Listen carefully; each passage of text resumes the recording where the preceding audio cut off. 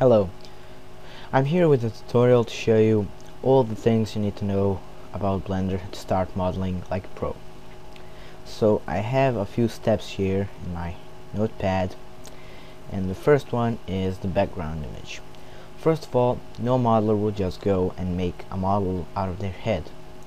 They need to have a blueprint or some kind of a, a uh, two-dimensional image to work on.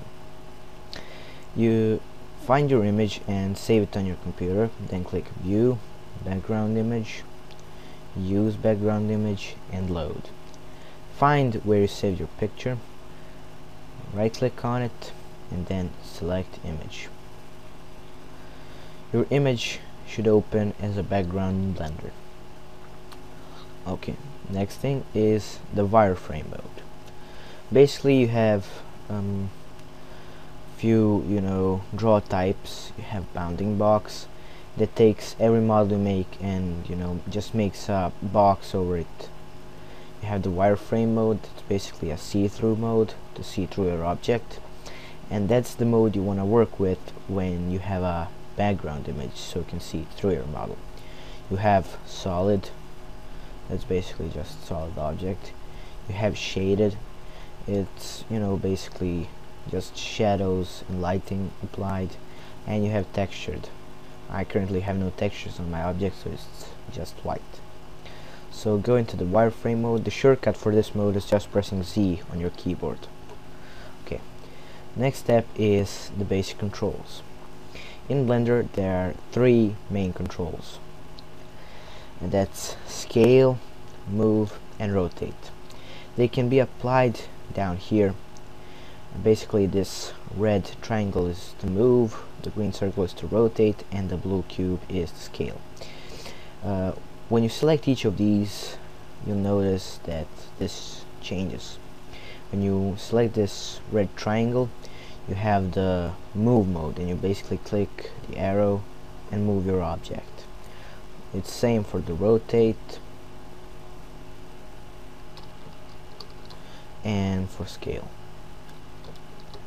okay so they can be applied also by the buttons on your keyboard. S is the scale. You press S and then you move your cursor to and away from the object to scale it. Uh, G button is to move. You press G and then you just move your object around. And R to rotate. You press R and then you just you know, rotate it like this okay so next thing is the axes. In 3d world there are three axes. X y and z. X is the red one the y is this green one and the z is the blue one. So basically um, z is always the top one and x and y are the horizontal ones. Also you want to know this. Um, on your numpad when you press buttons 1 3 and 7 you can switch from each view you want to look at your object. Numpad 1 is always the front view numpad 3 is the side view and numpad 7 is the top view.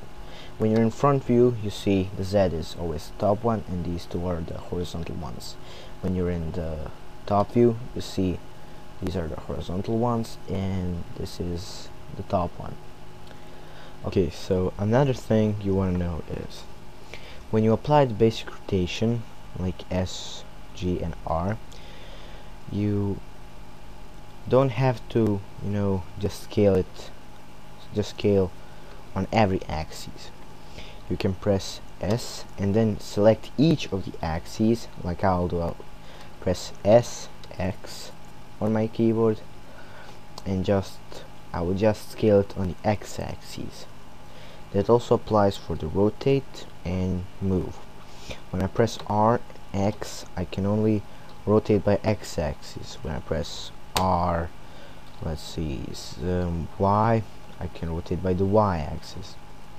It also applies for the movement so it's G X and moving it only by the x-axis okay?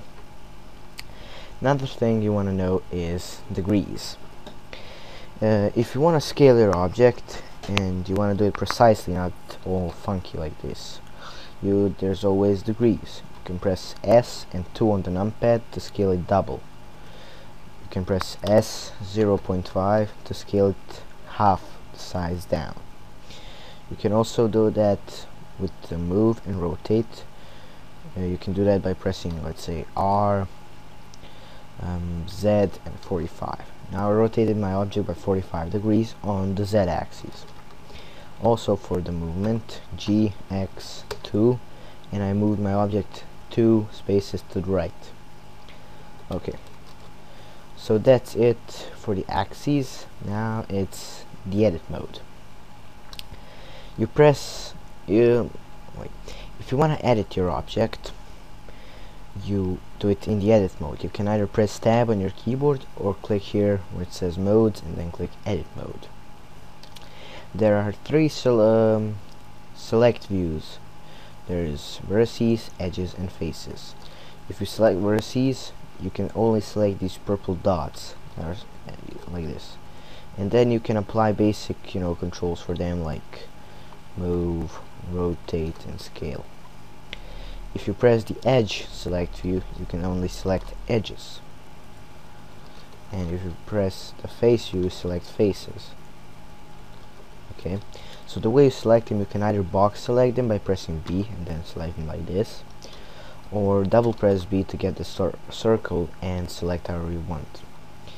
Um, you can change the size of your size of your circle by the mouse wheel like this. And if you have selected some faces and you want to unselect them you press your middle mouse button. Like this. Also there's button A. When you press A it either selects everything or deselects everything. Okay? Now for some editing. If you select a face or two faces whatever you can press E and then click region to extrude region. Once you extrude region you'll get you know a new region like this. With that new region you can either scale it up rotate it and move it however you want.